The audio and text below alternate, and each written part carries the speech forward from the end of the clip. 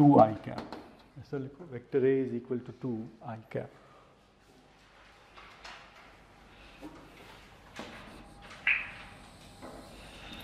you can easily draw this vector और not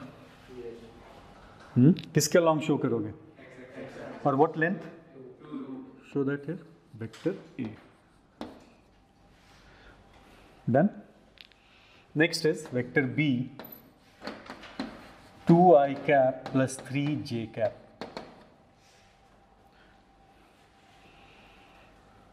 दूसरा diagram ये सब मैं एक बार तुमको पढ़ना है. You should get feel of it तो फिर दोबारा कभी नहीं पढ़ना होगा. है ना? तो हम लोग जानबूझ के नोइंगली बहुत डिटेल में हम बता रहे हैं. बहुत very simple things two I cap plus three J cap एक चीज़ बताओ. Can we interpret this as sum of two vectors two I cap plus three J cap so should we can we use triangle law two I cap is this vector और not show that plus so, this is vector b or not? This is your vector b.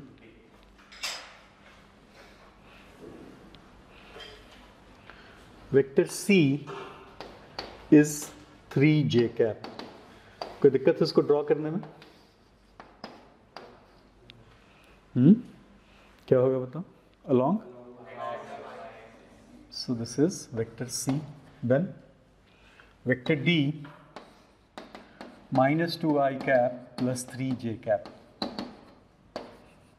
इसको check करते हैं। पहला vector क्या है? Minus two आई cap किस तरफ़ show करोगे? Very good negative X axis and then next vector क्या है? प्लस थ्री जे कैप ये होगा ना? तो दिस इज़ वेक्टर डी और not vector E minus two I cap done किस तरफ़? Negative X axis okay vector Okay. Minus two I cap minus three J cap खुद ड्रॉ कर लो. Minus two I cap minus three J cap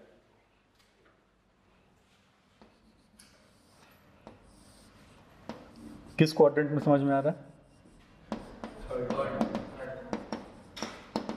this is vector F और not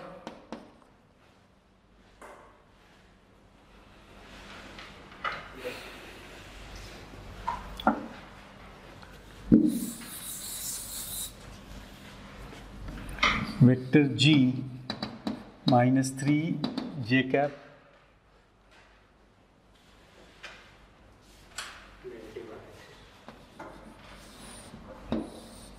negative vector G then vector H two I cap minus three J cap कहाँ पे बताओ? fourth quadrant 2 i cap minus this is vector h.